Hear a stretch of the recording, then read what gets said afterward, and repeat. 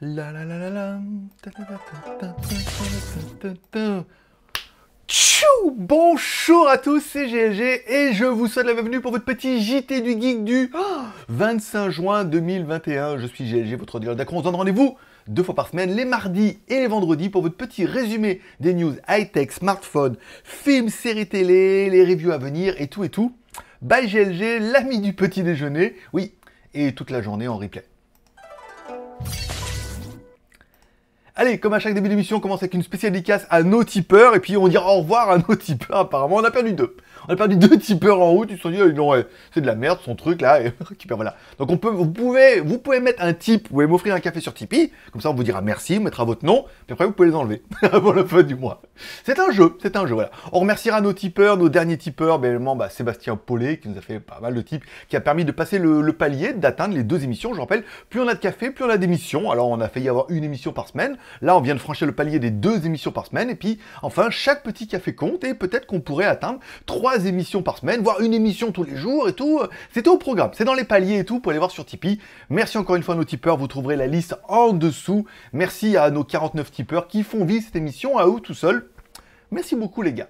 Spécial dédicace également à tous ceux qui mettent un pouce en l'air pour soutenir l'émission. Ça c'est gratuit, c'est disponible sur Android, euh, Apple, euh, les TV et tout machin. Tu vas en bas de la vidéo, tu mets un... si t'es sur la télé, tu cliques en bas, après t'as la menu, t'as trois petits points et tu mets un pouce en l'air. Parce que même moi maintenant, quand je regarde les vidéos d'autres youtubeurs, je mets des pouces en l'air, je prends le réflexe et tout, je sais que c'est important et tout. Et également, merci à tous ceux qui sont abonnés à la chaîne, qui sont restés abonnés, et puis les nouveaux abonnés, peut-être ceux qui vont découvrir l'émission aujourd'hui, qui vont peut-être s'abonner. c'est le cas de le dire. Bon, allez, on commence. Euh, trêve de blaguerie. Alors, euh, trêve de blaguerie. Ici. bon, on commence. Legeek.tv, mon site euh, qui répertorie. Ouais, c'est bien, ouais, répertorie, c'est bien. Qui répertorie toutes mes vidéos de toutes mes chaînes. Alors, il y a jtgeek.com, bien évidemment. Mais là, il y a legeek.tv, là, il n'y a que les vidéos. jtgeek.com, il y a les articles et tout maintenant et tout, vous allez voir. en plus, il y a du bel article, là, je suis content. je suis content. Hein. Le, le, nouveau JT Geek va être bien. Hein. On va reprendre un peu la place qui, euh, était la nôtre. Voilà. Donc, euh, legeek.tv, donc, euh, comment récupérer Donc, toutes les dernières vidéos, les JT Geek, les reviews, etc., etc. Pour l'instant, il n'y a rien de plus, rien de plus. Skyphone, le site de code promo dans lequel je propose des codes promo tous les jours, les deux jours, les trois jours, en fonction de ce qu'il y a, ce qu'on me donne et ce que Nico veut relever en fonction et tout. Hier, c'était tous les codes promo AliExpress. Alors, il y avait des parts de, de Pologne, des parts d'Espagne, des parts de France et tout. Pas mal de petits codes promo et tout qui peuvent être intéressants. Le Shui Mini PC, il y avait une grosse promo chez Banggood apparemment. Euh, la TV Xiaomi aussi, voilà. Donc on relève un petit peu les promos comme ça. Et puis euh, vous les trouvez directement sur Skyphone. Le site reprend son référencement tout doucement. Ça manque un peu de texte, hein, mais bon, euh, voilà, on va s'y remettre tout doucement. Voilà. Je vous rappelle, JT Geek, c'est également bah, jtgeek.com, bien évidemment, mais c'est également une boutique c'est pas vraiment une boutique, c'est de l'affiliation, encore une fois. C'est-à-dire qu'on vous envoie vers le vendeur, vous payez le même prix, mais nous, on a une petite commission en tant qu'apporteur d'affaires. Ou rabatteur, en fonction de, en fonction de comment on amène le client. en train, de réfléchir. Oui, d'accord. bon, le, mon t-shirt préféré, c'est celui-là. Alors, je peux pas peux pas mettre super super loin et tout, parce que euh, parce que j'ai la chaise et j'ai un câble encore. J'ai encore un câble jusqu'à la semaine prochaine. Semaine prochaine, il y aura peut-être plus de câbles. Donc je pourrais aller loin après. Vous imaginez même pas le recul qu'il y a, regarde. donc du coup, je pourrais faire... Voilà, donc mon t préféré, euh, whatever, donc Martic, euh, quoi qu'il se passe, surtout ne va pas en 2020. Très très drôle, le retour vers le futur et tout, c'est vraiment ce que j'aime bien. Il est disponible de XS à 6XL. Alors ne me dites pas, il n'y a pas votre taille. Hein. Non, mais il n'y a pas ma taille. Non, c'est bon, ça va. XS, super euh, cure-dent et 6XL un dessus de lit, quoi. Donc il quand même, hein, au pire, tu peux l'accrocher au mur, 6XL, ça te fait un poster, tu waouh, c'est un t-shirt, 6XL, mon pote.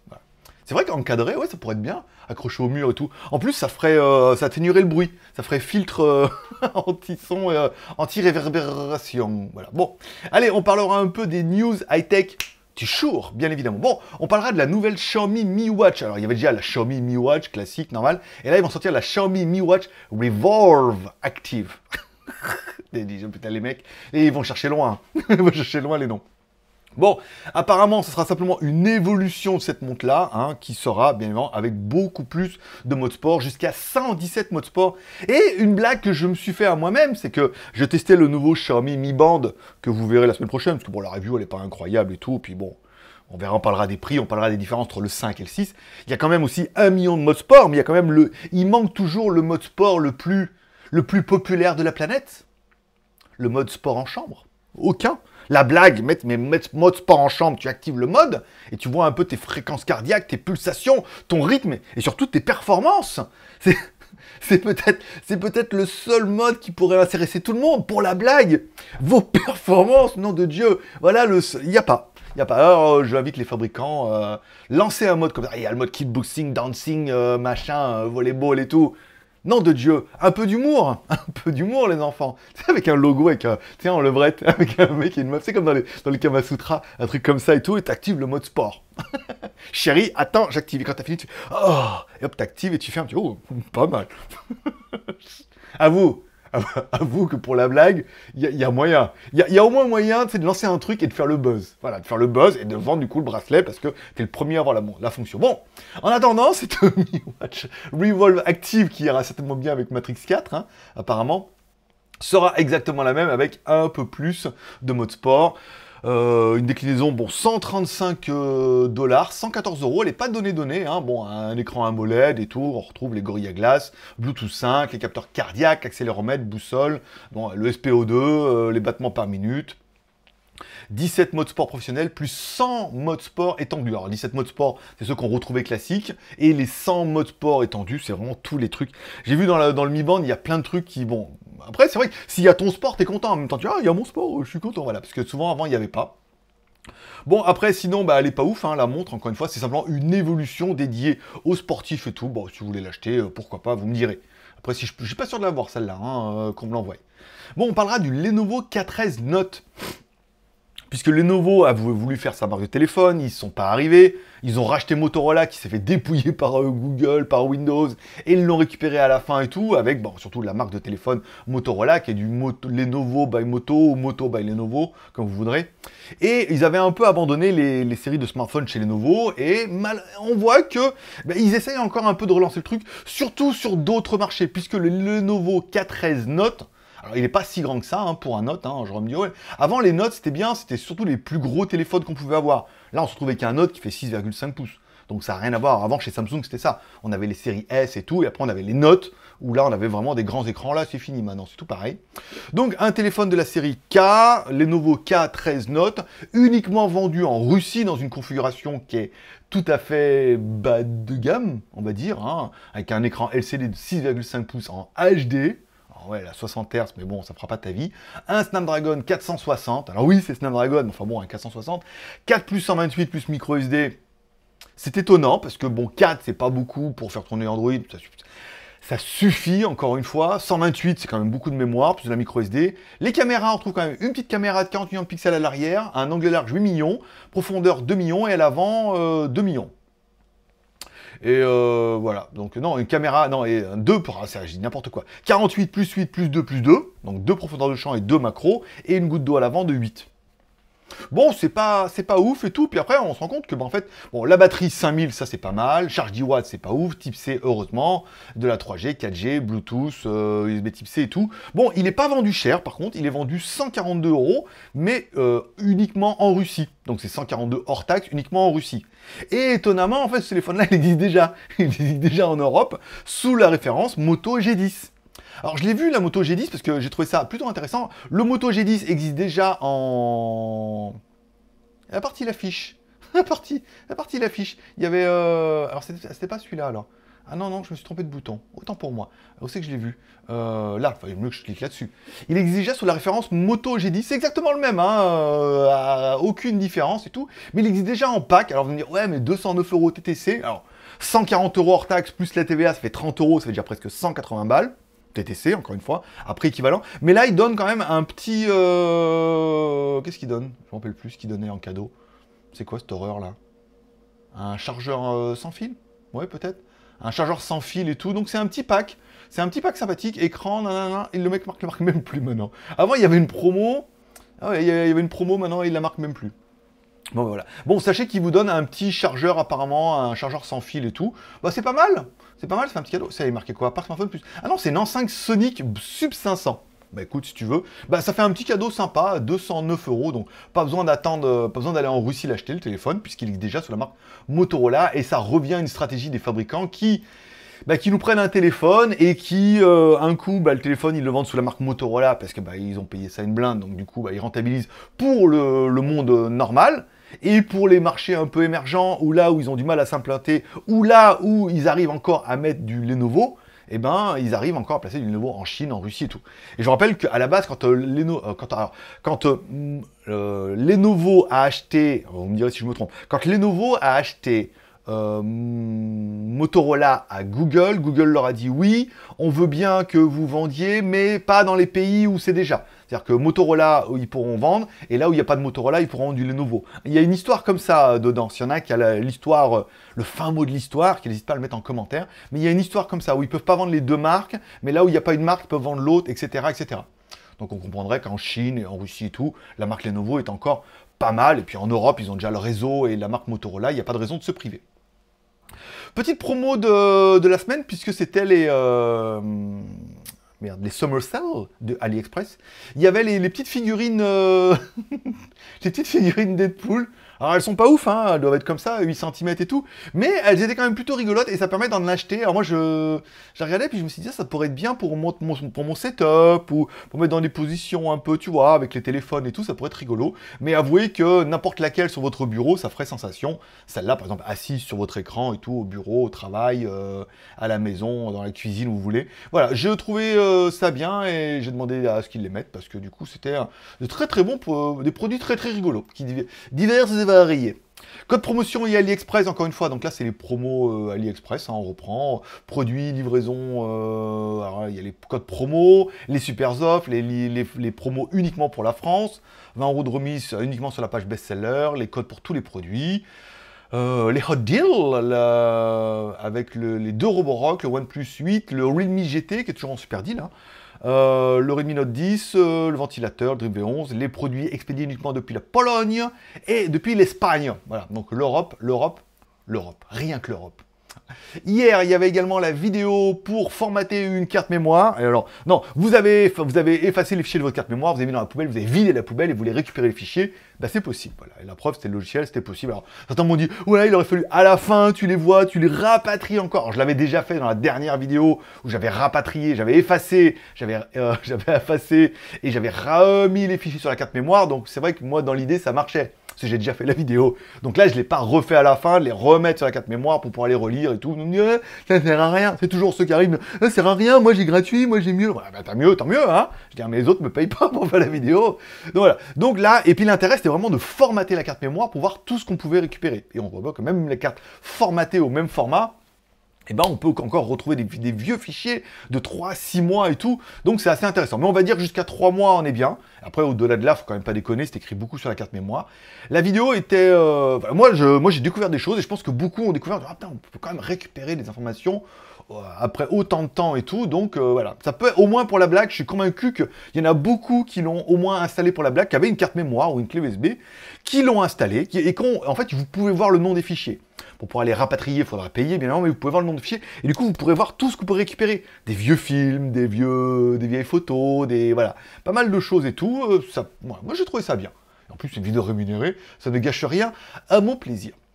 On parlera du Redmi K50. Alors au début c'était news, euh, Lou Webbing qui est le PDG CEO euh, de Xiaomi et de Redmi, il dit voilà le K50, on y travaille tout. Non, ils travaillent rien du tout. Ils font l'instant, ils en sont au mode ouais on fait un sondage pour demander aux, gens ce qu'ils veulent et tout. Donc euh, les gens évidemment. Jean 1, Jean 2, Jean 3 et Jean Bon, et ben du coup ils disent voilà mais nous on veut le top du top, laissez tomber sur le sur le gaming, le K40, ils avaient mis un médiathèque. Et beaucoup sont encore dans les médiathèques, euh, même le 1200 qui est, euh, qui quand même un peu une tuerie. Ils disent non, mais nous on veut du Snapdragon et tout. Alors qu'il y avait du Snapdragon dans les, autres modèles, dans les versions classiques. Il y avait, euh, bon, il y avait du 888 et tout, mais ils ont préféré mettre le 1200, 1200 Sur la version gaming, alors bien évidemment, ils disent ça. Donc ils en sont en mode sondage. Alors bah, évidemment, on les connaît les réponses. On veut du 888 ou alors du 898 parce que c'est le nouveau, il va arriver, ça va être trop bien et tout. Donc bon, euh, on en est encore sur de la rumeur, de la spéculation, mais ils travaillent ardemment dessus et on devrait arriver de plus en plus de news et de rumeurs et de leaks sur ce téléphone-là qui doit déjà à peu près exister en fait. Hein. Et à mon avis, la configuration, ils la connaissent, hein, parce que les sondages généralement sont plus faits pour émulser que pour demander vraiment ce que les gens veulent. Enfin, l'article de dit un très long article de presque 1000 mots, hein. bravo, bravo Nico, euh, un article de 1000 mots qui retrace un petit peu, qui parle un peu des trois enceintes Bluetooth avec la technologie de Vialet. On en reprend. en fait, ça sera surtout un article qui sera en complément de la review de l'enceinte Sony SRS RA3000, qui est une enceinte euh, Bluetooth comme ça, qui est de Vialet Killer, mais en fait de Vialet Killer dans la gamme des enceintes avec technologie de Vialet à moins de 300 euros. On est d'accord que leur truc à 1000 ou 1200 balles, a, ça défonce tout le monde. Mais dans des enceintes à moins de 300 balles Bluetooth, il existe des enceintes avec la technologie de Vialet. La technologie de Vialet, encore une fois, c'est deux haut-parleurs comme ça qui sont en push. Donc on met les deux haut-parleurs comme ça. Donc du coup, on a une caisse de résonance au milieu qui compresse. Alors après, soit certains mettaient un haut-parleur passif dessus, soit certains la récupéraient pour faire un basse réflexe, soit certains gardaient ça dans une chambre de compression, puisque du coup, quand la membrane se compresse, ça compresse l'air et ça permet à la membrane de revenir plus vite. Encore une fois, c'est plusieurs technologies. Hein. Soit on pousse dedans, ça fait, euh, ça fait un écho et du coup on récupère avec un basse réflexe, ça veut dire un tube et donc du coup ça passe dedans, ça fait, ça fait un espèce de, souffle. Soit on met, euh, comme Bose, on met un haut-parleur passif, ça veut dire que ça fait vibrer un autre haut-parleur passif qui donne un effet de grave sur le dessus, puisqu'on a une membrane qui bouge grâce à la pression. Soit on regarde la pression en interne, ça permet aux membranes de revenir plus vite. Ces trois écoles hein, qui sont un peu différentes. De Vialet, lui, a sa propre technologie, encore une fois, avec les haut-parleurs push-push. Alors, ils ont les haut-parleurs push-push, mais ils ont aussi euh, le traitement numérique qui s'appelle SAM. C'est pas celui qui conduit hein, quand t'as bu, hein, c'est l'autre. C'est euh, voilà. Donc du coup, ils ont la technologie qui permet d'avoir des basses quand même juste de ouf et de l'électronique qui permet de contrôler, de gérer ces basses afin que ça évite que ça sature et que ça résonne et tout. Et eh bien cette technologie, ils la vendent à qui veut bien l'acheter? Encore une fois, donc il y a les Huawei Sound X qui ont bien les haut-parleurs de grave de chez De Vialet et tout normal. Mais encore une fois, la partie médium aigu, comme c'est marqué dans l'article, la partie médium aigu est à la discrétion du fabricant.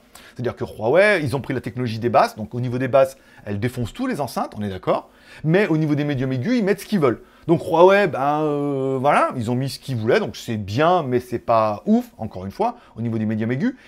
Il y a Belkin aussi qui a la Soundform Elite. Alors on dehors confirmation début juillet, si je l'aurai ou pas. Là ils m'ont dit que oui, mais bon, tant que j'ai pas de tracking, moi, euh, oui, oui, oui, oui, oui. Mais bon, j'en ai tellement qui me disent oui et hein, c'est pas une fois, pour la première fois qu'un oui aura voulu dire non. Ou qu'un non aura voulu dire oui. Non, bon, c'est là, c'est non. Là, c'est oui. Non, là, c'est oui. Mais j'ai pas de tracking. Donc, tant que j'ai oui, mais qu'elle n'est pas partie. Donc, euh, bon kiki. Donc les deux Vialet Belking, une enceinte pareille avec technologie de Belking acoustique by De Vialet, donc encore une fois juste les basses médium aigu par Belkin. Bon, c'est un fabricant d'accessoires, ils savent faire un peu des enceintes, mais c'est pas encore leur leitmotiv, et chargeur à induction dessus qui sera soit, comme c'est marqué dans l'article, l'argument extrêmement fort en disant oh, chargeur induction, c'est exactement ce que je veux, je le prends, ou comme moi, vous avez rien qui charge par induction, et du coup, vous en battez les couilles. Qu'elle charge par induction, ça va juste une enceinte avec un support pour mettre le téléphone dessus. Et on parlera également de l'Altis Amplify, haut-parleur de fidélité. Alors, c'est plutôt un haut-parleur je ne sais pas la marque, hein, j'ai découvert ça. Alors, les produits sont bien sur le site de Devialet, mais ils sont dans les sous-pages ils sont dans des, sous-domaines qui ne sont pas dans les menus. En fait, quand vous allez sur Devialet, vous allez dans les menus, ils sont introuvables. Par contre, si vous allez sur Google et vous marquez Devialet euh, Altis Amplify, vous allez bien arriver sur, vous pouvez trouver le site de Devialet avec un sous-domaine qui s'appellera slash euh, soon slash la page.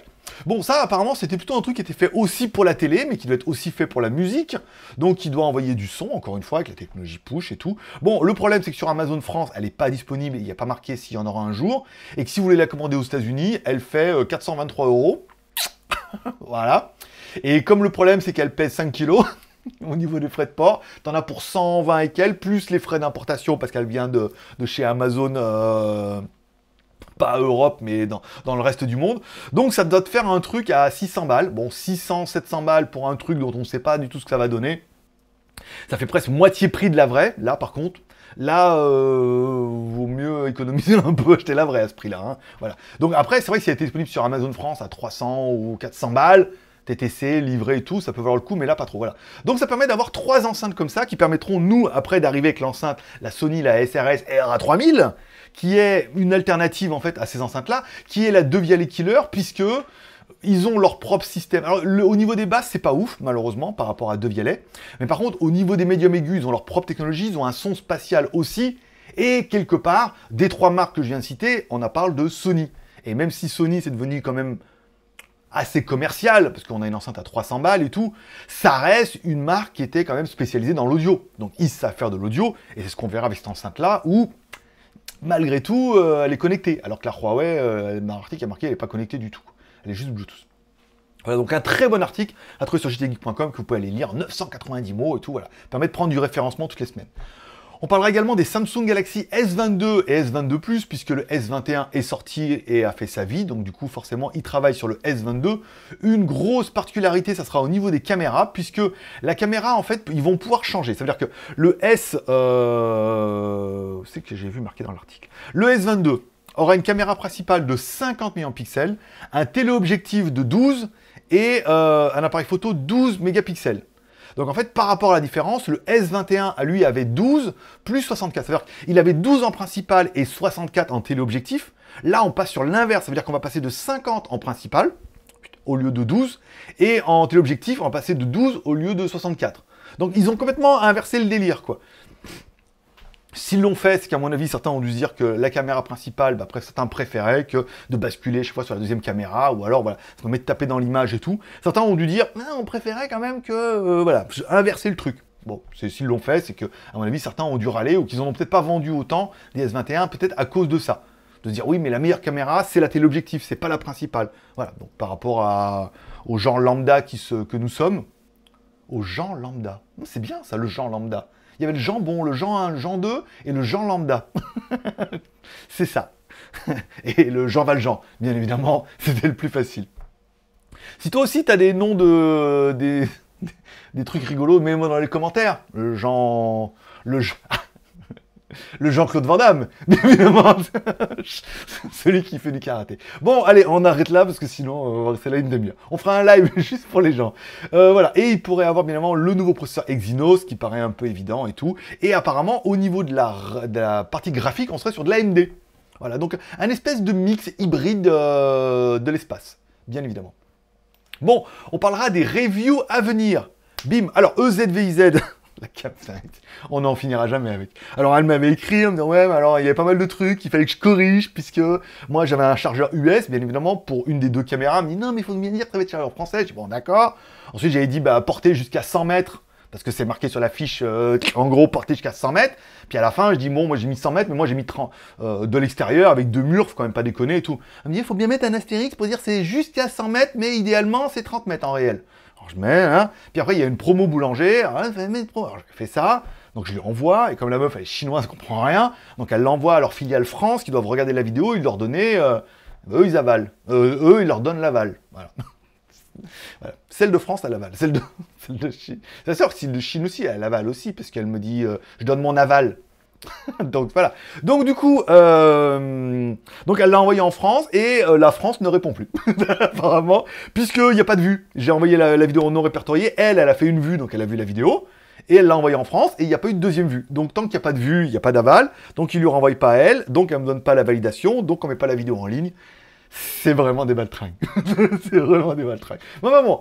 Bon, on parlera également, tiens, euh, je voulais commencer la vidéo des Flip Buds, des Xiaomi Flip Buds, les meilleurs écouteurs de chez Xiaomi et tout. Et euh, grosse déception, ça a marché pas. ça. Alors j'ai réussi à les appairer en Bluetooth, mais les boutons ne marchaient pas et tout, je comprenais pas. Pas de pop-set de changer de réduction de bruit, pas de double cliquer pour mettre le truc. Quand je clique dessus, j'entends un petit clac comme ça, mais il, il se passe rien et tout. Donc je cherche, je regarde, je regarde, je dis mais pourquoi ça ne marche pas? Eh ben simplement parce qu'il y a enfin un euh, Sami Luo, euh, qui est un chinois qui fait des vidéos en anglais et tout, qui les a testés et qui dit bien que ces écouteurs ne sont fonctionnels optimalement que uniquement avec MIUI 12.5. C'est-à-dire que c'est vraiment fait, des écouteurs haut de gamme pour les nouveaux téléphones. Si votre téléphone n'est pas 12.5, quand vous ouvrez le boîtier, ils sont pas reconnus automatiquement. Ils sont reconnus comme des écouteurs Bluetooth, donc il faut les appairer en Bluetooth, et c'est de la merde, tu peux rien faire avec. Il faut que tu aies MUI 12.5, et donc du coup, quand tu as MUI 12.5, tu les ouvres, oh MUI dit « Ah là, c'est les nouveaux écouteurs, trop bien, je vais les essayer !» Et hop, il les reconnaît, tu as un menu, des fonctions, des trucs, et là, ça active tout, et après, tu peux faire... Et surtout, tu peux les mettre à jour avec la nouvelle version qui doit tout débloquer et tout. Mais en attendant, il n'y a rien qui marche. j'ai écrit à Siri, j'ai dit « Mais ça marche pas !» Après, ah, je vais me renseigner et je, depuis, j'ai pas de nouvelles. Mais bon, je me suis renseigné moi-même. Il faut avoir MUI 12.5 et comme mon Xiaomi Mi 11 Lite est noté, il va bien avoir MUI 12.5 mais qu'il l'a pas encore. Bah, pas encore, pas encore. Euh, donc Flipbot, non. Mi Band Pro 6, il est fait, il est dans la boîte. Il est sur GLG Review en non répertorié. Ça veut dire que si vous allez sur GLG Review et que vous allez chercher la Xiaomi, la playlist Xiaomi, vous pouvez voir la vidéo comme ça en loose day, si vraiment vous êtes pressé. Sinon, euh, je pense que je la mettrai peut-être samedi. Ah bah c'est demain. Si elle me répond pas aujourd'hui, euh, ouin ouin là, bah, j'enverrai la vidéo au tipeur ce soir je la mettrai demain. Ça on la torche, on n'en parle plus. Euh, semaine prochaine, donc du coup il y aura la Sony SRS RA3000 que j'ai testé depuis maintenant une bonne quinzaine de jours. Ah, elle est bien, mais voilà, on en parlera. Elle est bien, elle est bien partout, mais il n'y a pas d'effet waouh, malheureusement. Aujourd'hui, je devrais recevoir le Oukitel W12 Pro. Ça, c'est bien. Je devrais également... Qu'est-ce que j'ai noté dans ma liste? Alors, Octane Pro, c'est pas mal. Je devrais également... Alors, semaine prochaine, il y aura une vidéo apparemment sur les VPN aussi, encore une fois. Euh, ça a super bien marché la dernière. Là, il m'a dit, oh là là, oh, une par mois, maintenant on en veut deux par mois. j'ai dit, bah, si tu veux, on fait un prix, bah, deux fois le prix. par exemple. Oui, mais je... non, non, ça fait chier. Attends, si, si, à mon avis, il veut refaire deux vidéos par mois, c'est que ça a bien marché et qu'il est, il est tombé dans ses frais. Donc on va faire une autre vidéo là, il va encore faire une vidéo cette fois avec Netflix pour débloquer, on parlera de la BBC, des choses comme ça.